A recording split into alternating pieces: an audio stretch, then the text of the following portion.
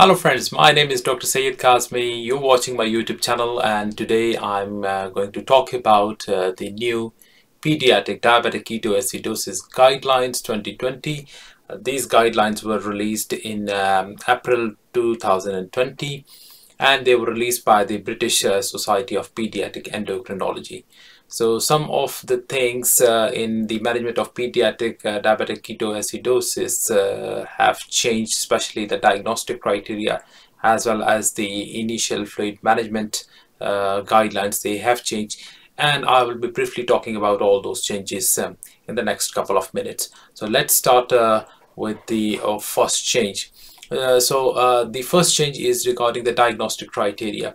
So it has changed the way we used to diagnose uh, diabetic ketoacidosis uh, um, in the past. So the previous guidelines, uh, they were that you need to have a pH of less than 7.3 or a bicarbonate of less than 18 with a high uh, blood glucose levels. Now the new guidelines uh, released by the British Society of Pediatric Endocrinology, they say uh, that the bicarbonate should now be less than 15 millimoles per liter. So now you have to have uh, uh, a pH of less than uh, 7.3 or you need to have a serum bicarbonate less than 15 millimole per liter. And remember that the uh, previous guidelines used the criteria of 18 millimoles so that has now been lowered to 15 millimoles per liter. So this is the very first change in the diagnostic criteria and that brings the BSPED guidelines um, in conformation with the international guidelines uh, as well. Please keep it in mind that most of the times with this criteria the blood sugar would always be high. It would be more than 11 millimoles per liter. But in in pediatrics sometime uh, even in, in severe diabetic ketoacidosis you will see that the blood glucose level is normal so even if the blood glucose level is normal in a child who is known to be diabetic if the um, if the pH is less than 7.3 or the bicarbonate is less than uh, 15 millimoles and with that there is ketonemia as well that the ketones are more than 3 millimoles per liter then that confirms the um, the, the definition of diabetic ketoacidosis. Uh, now uh, the second uh, change is you know is, is regarding the uh, the severity of diabetic ketoacidosis. Um, in the previous guidelines um, they were using the cutoff of uh, less than 7.3 so uh, the mild and moderate were clubbed together. So you had mild or moderate and then you had the severe category. But now they have uh, made it much more elaborate so the second change that has come in the BSPED guidelines is that if your pH is uh, less than 7.3 or the bicarbonate is less than 15 then you uh, then the child is classified as mild diabetic ketoacidosis if the pH is less than 7.2 or the bicarbonate is less than 10 millimoles, then we classify it as moderate diabetic ketoacidosis. Or if the pH is less than 7.1 or the bicarbonate is less than 5, then that would be classified as a severe uh, diabetic ketoacidosis. So instead of the previous um, uh, definitions or categorizations of mild, moderate and severe. Now we have got three categories that is the mild uh, DKA, the moderate DKA and the severe DKA. And remember again for um, uh, mild DKA the pH should be between uh, 7 uh, 0.21 to 7.29 or the bicarbonate should be less than 15 uh, for um, uh, what we call as moderate uh, diabetic ketoacidosis. The pH uh, should be between 7.1 and 7.19 or the bicarbonate should be less than 10 and for uh, severe diabetic ketoacidosis the pH should be less than 7.1 so it could be anywhere any value be, be below 7.1 or the bicarbonate is less than 5 millimoles per liter. So that would be classified as severe diabetic ketoacidosis. So this is the second change. Now moving on uh, the, the third change is uh, regarding who are you going to call once you are confronted with a child who has got diabetic uh, ketoacidosis. So again, uh, previously in the, in the, in the uh, I mean the guidelines that we used in the past, it was recommended to discuss a child who has got a DKA with a senior doctor like a senior registrar or some now the new guidelines state uh, that you always consult with uh, the consultant pediatrician on call uh, for any child who, who you suspect to have a diabetic ketoacidosis. Even if you are well trained, even if you are quite confident in your management, you still need to consult the pediatrician on call. Preferably a pediatrician who has got some interest in diabetes, but even if, uh, let's say, general pediatrician on call, uh, he should be definitely involved in the management right from the very first point. Uh, remember that management of uh, diabetic ketoacidosis uh, is a bit difficult so that's why it's always important to get a senior help right from the very first go so this is the third change uh, that uh, has been there in the BSPED new uh, pediatric diabetic ketoacidosis guidelines now moving on to the uh, the fourth change the fourth change is regarding the resus fluids that we give. So a child with diabetic ketoacidosis who is in shock. And for shock, we use the APLS criteria like uh, prolonged capillary refill time of more than two, three seconds, um, tachycardia, low blood pressure. So kids who are in clinical shock, uh, based on the APLS guideline, they should have a 20 mils per kg fluid bolus and that fluid bolus should go over 15 minutes. So it's very important to give them a fluid bolus in the first 15 minutes only to those kids who are shocked. And the other important thing is that these um, uh, fluid boluses, the resus boluses, they are not subtracted from the total fluid uh, calculation. This is very important. So the first thing is if a child is shocked with severe DKA, as I said earlier, that is fulfilling the shock uh, criteria based on the APLS guidelines, you have to give a 20 mils per kg fluid bolus uh, over 15 minutes. So once you give it, you would reassess. If the child is getting better, you stop. If the child is still um, shocked, you will give another fluid bolus, but that bolus would be 10 mils per kg. So the first one is 20, the next one is 10. Still, if the child is shocked, you will give a third fluid bolus, and that third fluid bolus would all would also be 10 mils per kg. So 20 mils per kg first bolus, second bolus 10 mils per kg, third bolus 10 mils per kg. So 20 plus 10 plus 10. So that makes it 40 mils per kg of the total fluid resus bolus. So once if 40 mils per kg has been given now in clinical practice most of the kids they would be you know resuscitated by this amount of fluid. But let's say in case if you get a child with severe DKA who you have given like 20 plus 10 plus 10 and still the child is shocked then they say that you have to stop here with fluid boluses and you have to consider inotrope. So probably you would be thinking of uh, dopamine and dobutamine or another uh, drugs to uh, you know um, increase the, the the blood pressure and give some circulatory support to the child.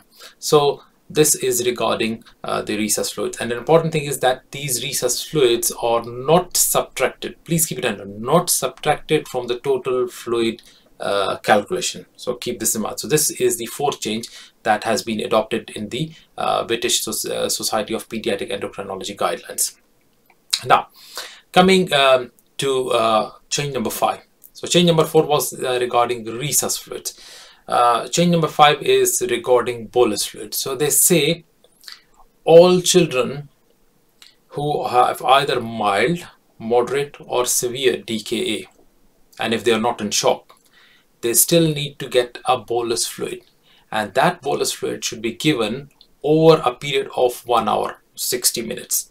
And that should be given according to 10 mils per kg body weight. So you calculate the body weight of the child, you multiply it by 10 and you give this bolus fluid over one hour for every child who has either got mild, moderate or severe uh, ketoacidosis without shock.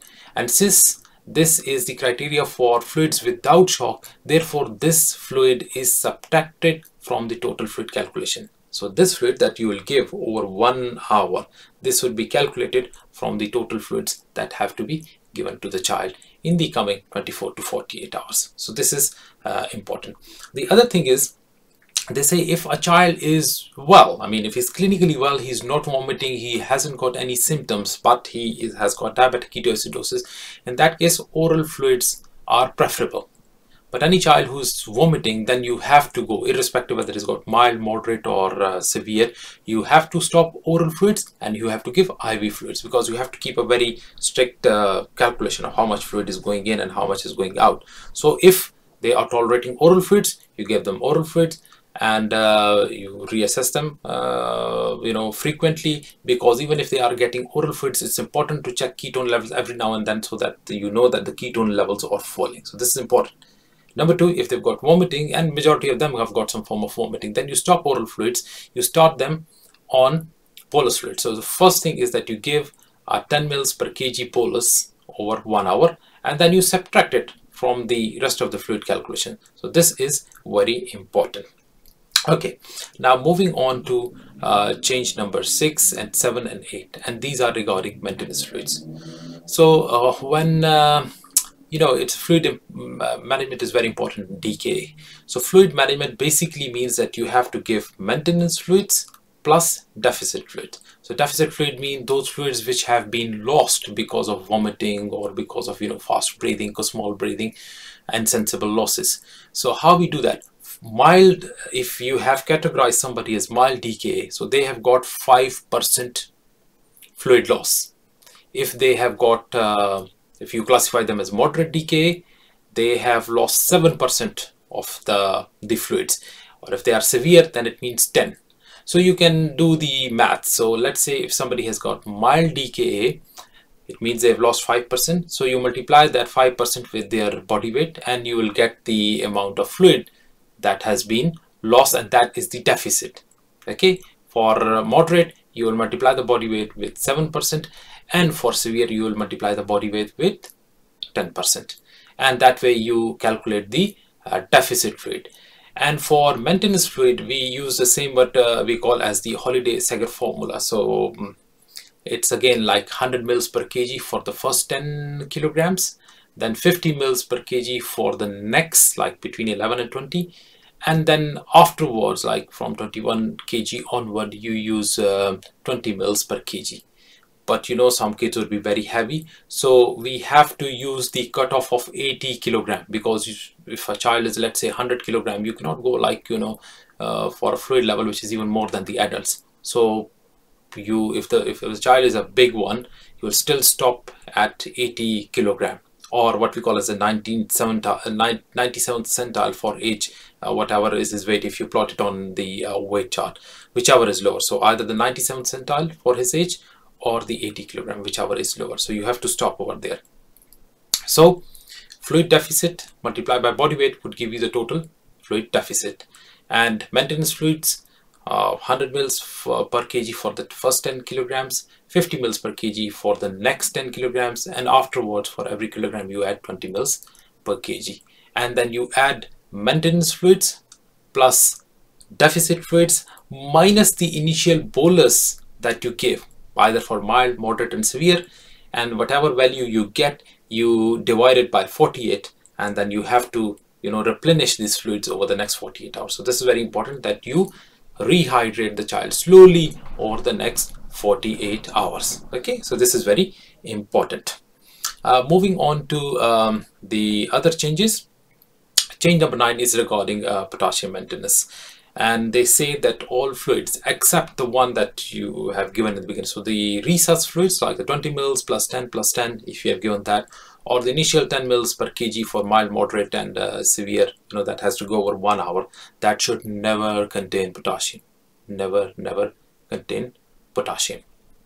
Rest of the fluids can have 40 millimoles per liter of potassium chloride added to them uh, but remember if a child let's say because you will be doing a venous blood gas uh, at the initial presentation at the very beginning if the patient has got a high uh, serum potassium then you do not add please keep it in mind you do not add potassium unless and until they have passed urine. So they are clearly you know uh, they've got a clear diuresis or number two the potassium level is back within the normal range that is 3.5 to 5.5 so if high potassium wait till the child is passing urine. The number two if the potassium level uh, is back within the uh, normal range. So this is important. If that is not do not add potassium and simply wait okay? Because it's important if the child is not passing urine and you add uh, potassium to it so uh, they can have uh, you know complications of high potassium so this is the change number nine in the new BSPED DKA guidelines 2020 okay. Uh, moving on. Change number 10 is regarding insulin. And again they say that's business as usual over here. So you never give insulin boluses. Insulin has to be given as a continuous infusion.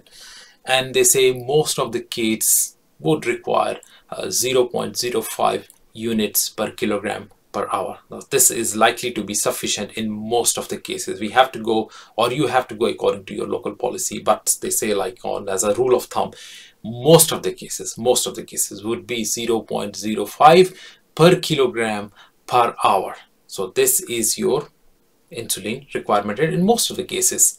But if somebody needs more of this blood sugar is quite high, it's not uh, coming down, you know, at, at the rate which you would be expecting, then in that case, you can also start them on 0.1 unit per kg per hour. But again, as I said, that would be a bit unusual. Most of the times, just 0.05 kilogram per hour is more than sufficient uh, to bring the sugar uh, back slowly and gradually back into the uh, normal range. And once uh, it comes down to normal, then you can start considering a long-acting um, subcutaneous insulin along with intravenous insulin infusion. So that is change number 10. So uh, that was all about the, um, you know, the recent uh, changes in the management of pediatric uh, diabetic guidelines. So in a nutshell or to summarize, remember the diagnostic criteria has changed. So now instead of using a cutoff levels of 18 millimoles of bicarbonate, we are using the 15 millimoles per liter uh, cutoff level. And with that, you need to have a ketone levels of more than 3 millimoles per liter. And a child may have or may not have high blood sugar. So blood sugar level is not that much important. What is important is the bicarbonate level less than 15 millimoles. The pH should be less than 7.3 and number three or uh, the um, and the ketone level should be uh, more than 3 millimoles per liter. So if this criteria is fulfilled, the child is classified as diabetic ketoacidosis. And as I said, uh, rest of the changes are regarding fluids. So now uh, those kids who are in shock and for that use the APLS criteria. So if they're in shock, you will give the 20 mils per kg followed by two additional boluses of 10 mils per kg if needed and these fluids are not subtracted. Mind you, they are not subtracted from the total fluid calculation. For the rest of the kids who are not shocked, if they are mild, or moderate or severe, they get 10 mils per kg uh, fluid uh, over uh, 60 minutes and this fluid is subtracted from the deficit fluids and uh, rest of the fluid you have to calculate the maintenance fluid. That would be again 100 mils for the first uh, per kg for the first 10 kg 50 mils for the next 10 kg and 20 mils per kg for uh, rest of the uh, you know the kilograms added to the body weight. And uh, the cutoff level is 80 kilograms. With that you add the uh, deficit fluids and for mild it is 5% of the body weight uh, mm, for moderate it's 7% for severe it's 10% you add them together you will minus any uh, you know the uh, the fluid boluses that you gave over 60 minutes. And whatever you are left with you have to replenish that over 48 hours. So you just divide that total fluid over 48 and you will get the hourly rate. And then as I said insulin has to be started uh, at uh, most of the time it would be 0.05 units per kg per hour.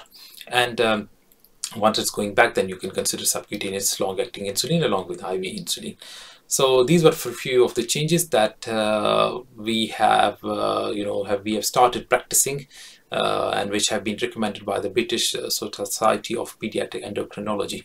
So thank you very much for watching uh, my uh, video. If there are any questions or queries you can put down a link below and I will be more than happy to answer your questions. Thank you very much. Have a good day. Bye